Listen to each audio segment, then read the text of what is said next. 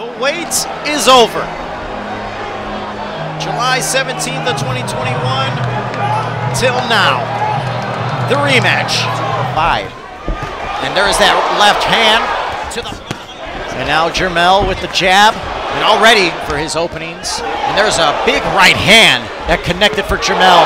But Castaño pressures him again. A huge right hand that connected for Jermell, but Castaño countered with the left hook.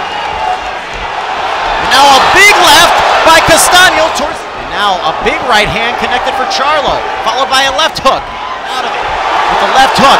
He takes a right hand by Castaño. Left hook from Castaño. And a big right hand. Huge. Left hook beautifully landed by Jermell. And Jermell now a big right hand followed by a left hook by Castaño. As he backs Charlo off, a huge left hook by Castaño. The jab. A big uppercut connected for Jermell, followed by a big right hand.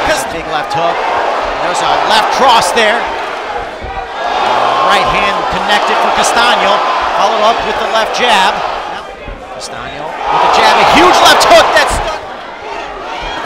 and there's a left hook. The bet percentage goes to Charlo. And now, now left hook landed for Jermell, followed by an uppercut. Two left Castaño though, connected on the left hook of his own. Jermell. And there's a left hand that puts Castaño down. And Castaño is stumbling.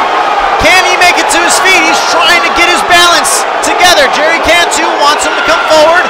He he's ready. The first big moment of the fight, Jermell puts Castaño down yet again. It might be over. Castaño can't get to his feet, and it is all over. Jermell Charlo is your next undisputed king of boxing, just like that.